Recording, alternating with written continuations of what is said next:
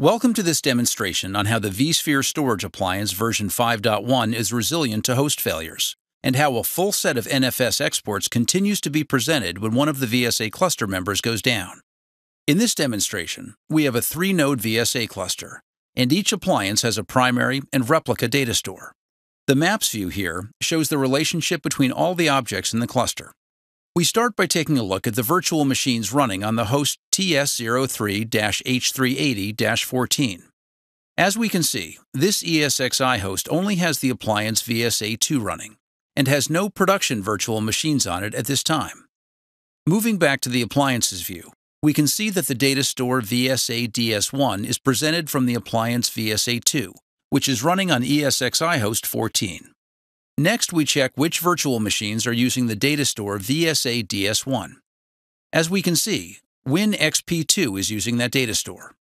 Before moving ahead, we must ensure that something is running on the console of that virtual machine. Here, we can see that the Windows Performance Monitor, perfmon, is running on it. Now, we will induce a failure on one of our ESXi hosts. In this case, we will cause a failure on ESXi host 14 by using a VSI command shown in the PuTTY window above. After running that command and bringing down the host, we now examine the impact this has had on our VSA cluster. The first thing that we notice is that the appliance VSA2, which was running on the host 14, has gone offline. We may recall that VSA2 is responsible for data store VSA DS1, on which the virtual machine WinXP2 is running.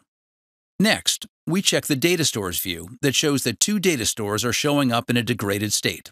This is because a single appliance will impact both a primary mirror on one data store and a replica mirror on another data store. But the point is that both data stores remain online.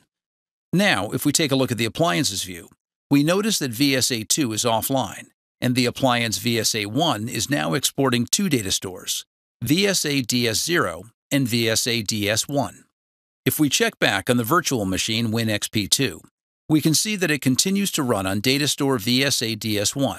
But now, VSA DS1 is being exported from appliance VSA1 and not VSA2, which is offline. If we look at the console of WinXP2, we see that it is still running perfmon.